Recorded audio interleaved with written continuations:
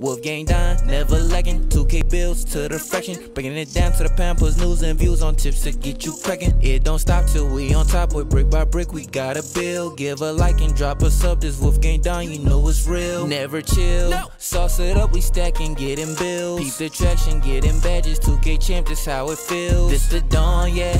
Running it up, no time to play. You know it's on, yeah. The greatest builds inside 2K. So before I even hop into the builder, man, I go to the My Team so I can actually get a good look at what this type of build would actually look like. So obviously I'm going with a 6'3 build. I'm going to go with about 200 pounds point guard position. We're gonna look at some of these actual attributes, man. The driving layup is pretty high.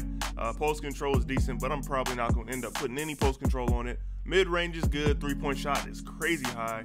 Uh, standing dunk, I'll probably give him a little bit uh, actually driving dunk, I'm I know for a fact I'm not gonna be able to get all of these stats, but that's all right, man. Pass accuracy, decently high.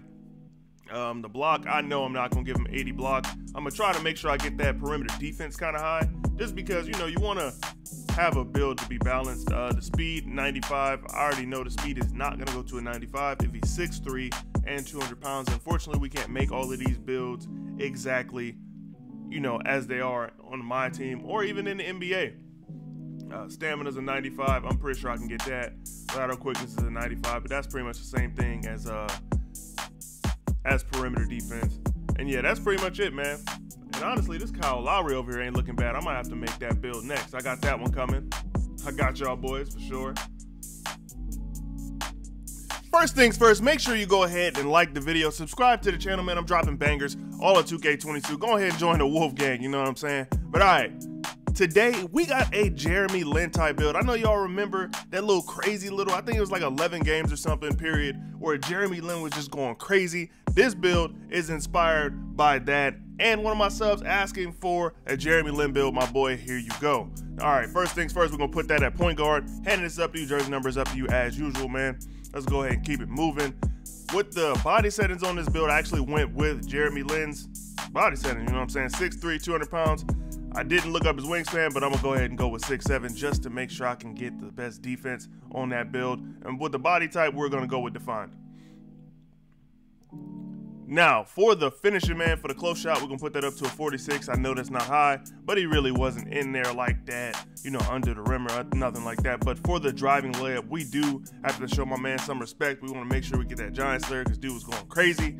And with the driving dunk, we're gonna give him just enough to get those quick drops, man. Make sure you go up to that 65, do the build right.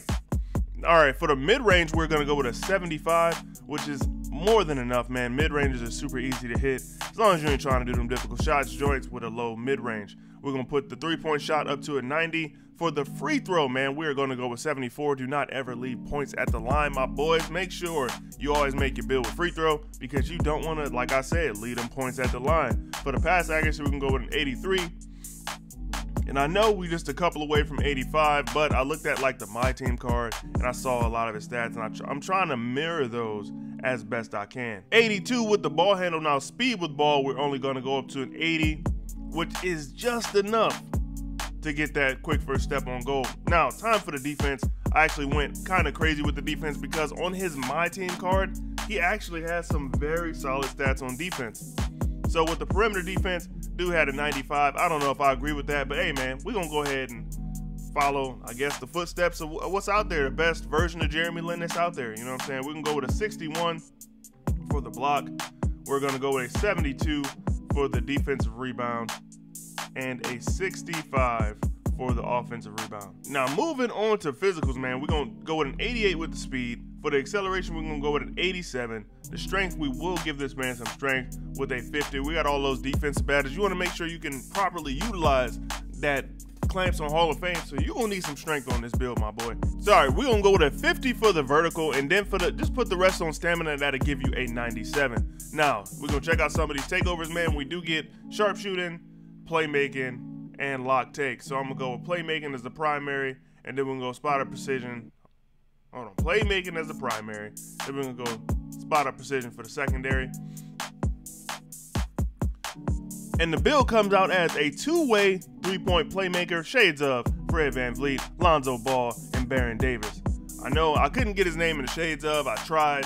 I tried everything. I, I think some players just aren't in there, but that's neither here nor there. But all right, we can go ahead and edit this build or test this build so I can show you some of the badges that I will put on this build to make it the very best it can be. So for the finishing on this build, I'm kind of going with more of a finesse type of build, a build that can, you know, get those Euro steps, really be, you know, out there playing among the trees and finishing successfully. So this is what we're gonna do. Acrobat, we're gonna put that on gold. Um, if you don't know how to Euro step, I suggest you look at those 2K tips, start practicing that if you wanna make this build. And I think it'll make you a, a different type of player. You know what I'm saying? We're gonna go limitless takeoff on bronze.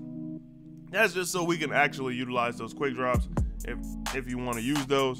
Uh, unstrippable, we can go with bronze as well. Slithery finisher, we're gonna go with gold. And Giant Slayer, we're gonna put that on silver because a lot of times on this build, you only 6'3", you might be going up against somebody a little bit taller than you.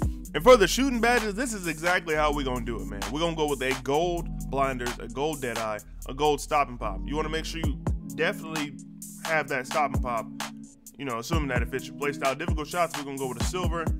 Hot Zone Hunter, we're going with gold. That's really the highest you need Hot Zone Hunter anyway. And Sniper, we're gonna go Hall of Fame. And I know a lot of people say stuff about Sniper, but I love that badge. I put it on almost every build I have as high as I can get it. And with the playmaking badges, we're going with a silver bullet passer, a bronze hyperdrive, gold quick first step, of course, gold stop and go. I don't know how y'all feel about stop and go, but I love that badge. I think it makes your player just move more fluidly. You definitely get those real glitchy change of direction things that people complain about with just the left stick when you have stop and go on. So make sure you're using that badge. And if you haven't, I would suggest giving it a try. Unpluggable, we can go with silver. Handles for days, silver. Space Creator, we're gonna put that on gold. And tight handles, we're gonna put that on silver. And all right, time for the defensive badges, man. We are gonna go with ankle braces on gold. I like chase down on bronze. It just makes the game more fun. I know Jeremy Lin wasn't chasing nothing down, but I like to have the badge because it makes the game more fun for me. Hustler, it'll help you improve those loose balls, man. Just trust me, a lot of times where you get those poke balls and you and the offensive player kind of fights for it, this badge will help you get it more. Uh, Menace is a very important badge if you are a good on-ball defender. I would highly suggest putting that on. Tireless defender speaks for itself. Ball stripper, I put that on silver. Clamps, I put that on silver. I really don't run clamps that high anymore. Like I used to, but I don't do it now. Interceptor, I'm put that on Hall of Fame. Intimidator, bronze, and then Pick Dodger, I'm gonna put that on gold. And yeah, that's pretty much it for the defensive badges, man.